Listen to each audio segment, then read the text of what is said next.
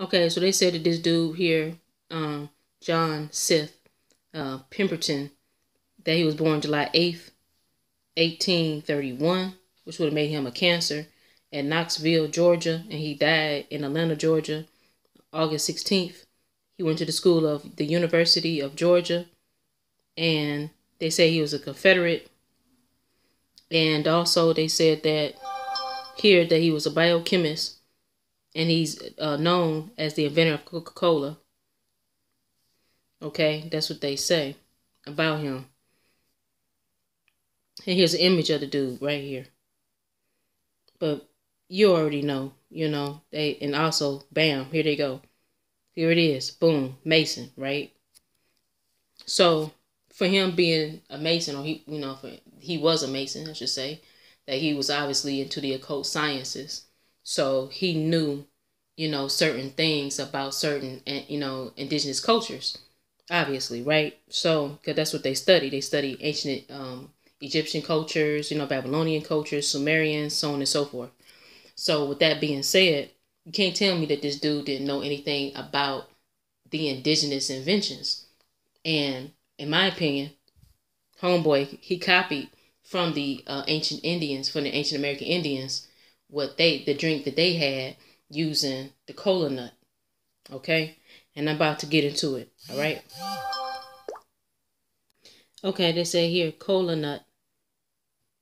Okay, which is spelled with a K. It says caffeine containing nut of cola. Acu nata cola natita. Trees of the cocoa family, native to tropical Africa and cultivated extensively in the American tropics. So basically, they try to give it you know, try to say that Africa is responsible for having this, but it's also found in the Americas. But okay, it says the evergreen tree grows 18.3 meters, 60 feet, and resembles a chestnut. It is 5 centimeter long. Brown nut is uh, hand collected and dried in the sun for commercial use, mainly as an ingredient of soft drinks and medicine. It says American and European soft drink manufacturers, however, do not use the cola nut. Instead, they manufacture synthetic chemicals that resemble the flavor of the cola nut. And see, the reason why they did that is because for whatever reason, they end up banning this nut for some reason. I don't know why. But anyways, it says cola nuts are used locally as a medium medium of exchange. They are also commonly chewed by local laborers as a stimulant to the to diminish sensations of hunger and fatigue. So I guess that's what they how they use it over there in Africa. And it says small pieces of cola nut chewed before meals act as an aid to digestion. But it says in Brazil, which we know is in South America and in the West Indies, it says the astringent tasting nuts are used as a botanical drug to combat intoxication, hangover, and diarrhea. It says the Igbo of southeastern Nigeria employed the nut in various social rituals. The presentation of the plate of cola nuts is an essential aspect of visitation rituals practiced by the tribes. Okay, so that's what they have to say about the cola nut. And this this is an ingredient that Coca-Cola used to use um, in the soft drink. You may have heard that Coca-Cola once contained an ingredient capable of sparking particular devotion in customers, cocaine. The coca in the name referred to the extracts of coca leaf that the drink's originator, Atlanta chemist John Pemper, Pemperman, mixed with his sugary syrup. At the time, in the late 19th century, the cocoa leaf extract mixed with wine was a common tonic, and Pemberton's sweet brew was a way to get around local laws permitting the sale of alcohol. But the other half of the name represents another ingredient less infamous, perhaps, but also strangely potent the cola nut. The pod of the cola nut, if you never had, the sensation of seeing one yourself is about two inches long and green. Inside the shell are knobs of fleshy meat like you might find inside of a chestnut, but reddish or white in color. In West Africa, the cola nut's native habitat, people have long chewed them as stimulants. That's because the nuts contain caffeine and theobromine, substance, substances that also occur naturally in tea, coffee, and, and chocolate. They also have sugar and choline, said to be a heart stimulant. Says there's plenty of pick me up in them, and their cultivation in West Africa is hundreds and hundreds of years old. Historian Paul Lovejoy relates that for many years the leafy spreading trees were planted on graves and as part of puberty uh, rituals. Even though the nuts, which need to be moist, can be somewhat delicate to transport, traders uh, carried them hundreds of miles throughout the forest and the savannah. Their value can be understood by the company they kept. In 1581, the ruler of the Songhai Empire in western Sahel said to Timbuktu on occasion of the mosque construction of a sumptuous gift of gold, cowrie shells, and cola nuts. Okay, so that's what they say about it. About the this particular, you know, ingredient. Okay, that's what they say about it. So now we're going to get into, you know, the origin of cocaine. And okay, so Oxford, they're saying the cocoa leaf is chewed by indigenous Andean peoples. And skipping down, it says it says it's a part of the Andean indigenous lifeways for thousands of years.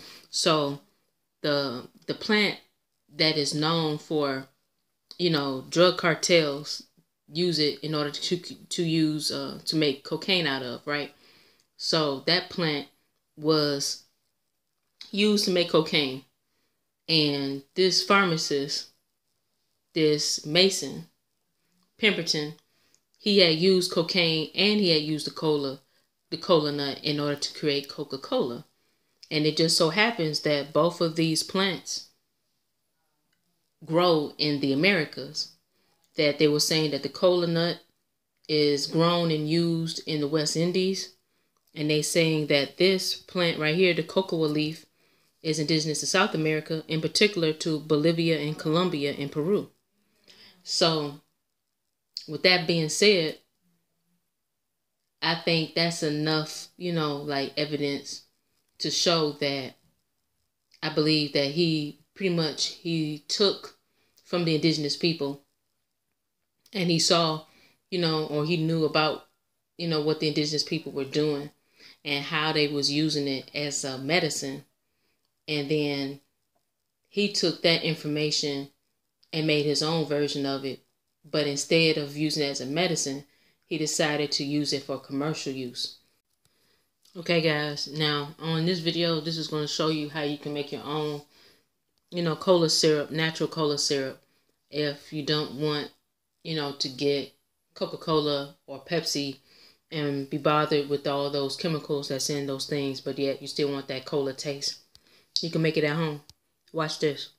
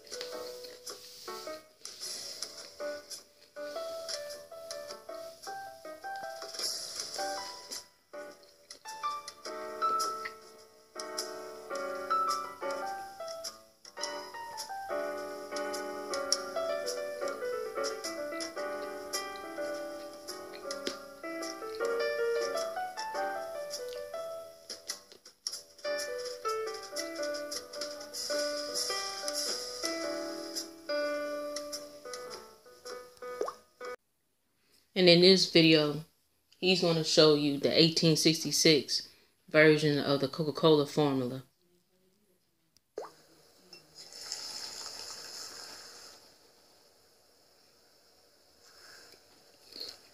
Welcome friends. Today in the kitchen we're going to do something a little bit special. We're going to do the 1880s Pemberton Coca-Cola formula. Um, and so Pemberton is the guy who invented Coca-Cola. Uh, he invented Coca-Cola in the hopes that he could wean himself off of morphine with cocaine. Um, in the end, it didn't work for him. So, um, so he came up with this formula, and this is out of one of his notebooks, and it is by no means the recipe or formula that Coca-Cola uses today, and they're very adamant about that. But by making this, it should give us a little bit of insight into uh, where this product started and what it tasted like at the beginning. And often what things taste like way back then is nothing like they do today. So I started out with some high proof alcohol. You want to get the highest proof that you possibly can. Um, and so what I've got is uh, 76% or 152 proof grain alcohol. Um, that's the highest that I can get where I live. If you can get higher, make sure it's food grade, make sure that you can drink it because you can get yourself into very solid trouble if you don't make sure it's food grade. Um, which brings us to the next thing, which are these essential oils. Now, I first wanted to do this back in 2011, um, what, eight, nine years ago. I heard a, uh, a, broadcast of This American Life on NPR, and it was all about this formula. And it really intrigued me, and I wanted to do it. And at that time, everyone said to me, don't bother. You can't get all the ingredients. And they were right. I couldn't get all the ingredients. And you know what? I still can't get all of the ingredients. Um, so these are food grade oils that you need to get. Um, they're in this form pretty toxic. You don't want to touch them. You don't want to get them on you. And there was one in particular that I couldn't get, and that is neroli oil. And a tiny little bottle of neroli oil like this, this is five mils of neroli oil, was 480 dollars US um, to get this little bottle. And the company said to me, "Oh, well, we can get it for you at a cheaper break. If you buy 400 pounds, it's 1.2 million." I'm like, I don't think I need 400 pounds of neroli oil. So the first thing we need to do is measure out tiny little amounts of these essential oils and mix them into this alcohol. And so I've got these tiny little syringes, they're one milliliter each, and we'll measure these out being very careful not to cross-contaminate, not to get it on your hands, um, and to get the right amounts. So the oils we're working with are orange, lemon, nutmeg, coriander, neroli, and cinnamon oil.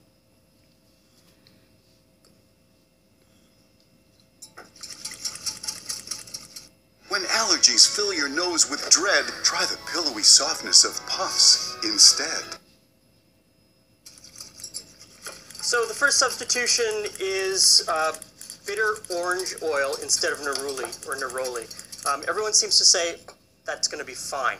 So this is our 7X formula. This is the 7X flavoring, and we're only going to use a tiny little bit of this for a couple gallons of Coca-Cola. Um, very tiny little bit. The next substitution that you have to make is, um, is the coca part. Um, it is illegal to have coca leaves uh, in North America, and you need coca leaf extract. Um, there's no cocaine in Coca-Cola anymore. They, they pull that out in a factory, apparently in New Jersey, and then only put in the bittering compounds from the coca leaf. Um, but since we can't have coca leaves, um, I worked around a little bit and I found another extract um, that has sort of the same flavonoid bittering compounds, and I'm going to give that a try. I think you should probably just leave it out though. Um, I'm a little worried. Obviously, that wasn't a real coca leaf.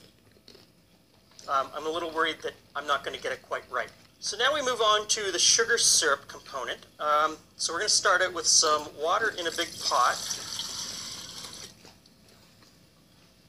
And the next thing is to weigh out the sugar. So I know that everyone has been freaked out for years that, you know, perhaps way back there was cocaine in Coca-Cola. Um, I would posit that the real killer in this soft drink is the sugar. Like, that's a lot of sugar. Um, so, in it goes, into the water, and we want to just, we just want to dissolve that. We're making a simple syrup.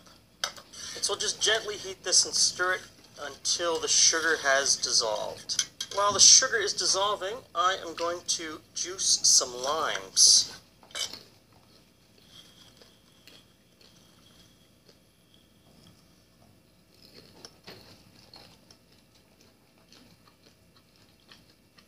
So the sugar is pretty much dissolved, and now we just add in caramel.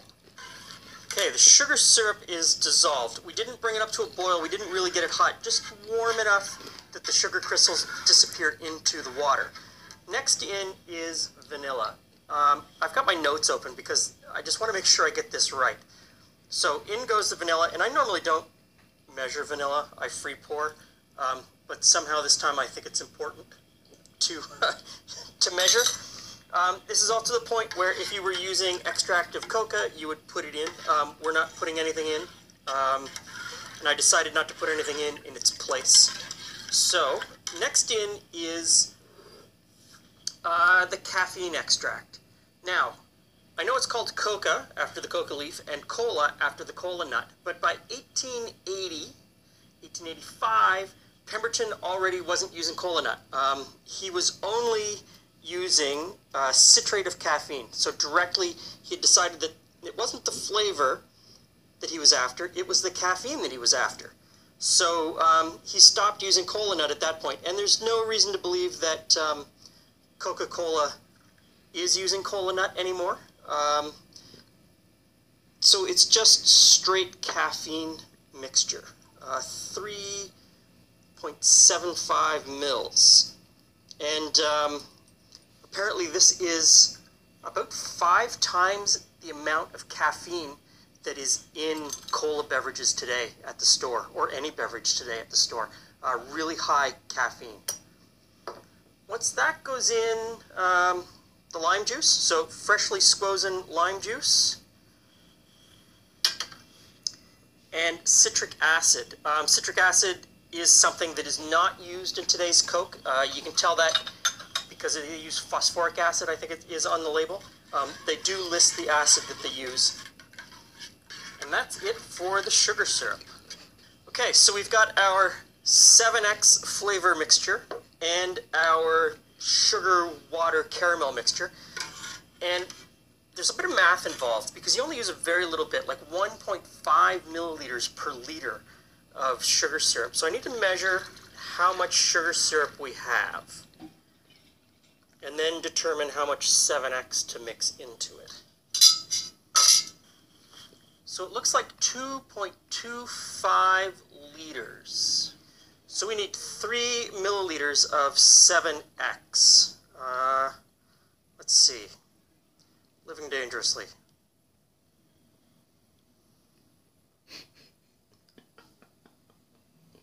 There we go. That in. Let's just give that a straight up taste.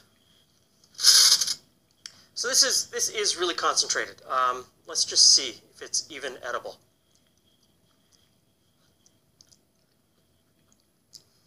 Huh. I can see where that's going. Let's see what Julie thinks.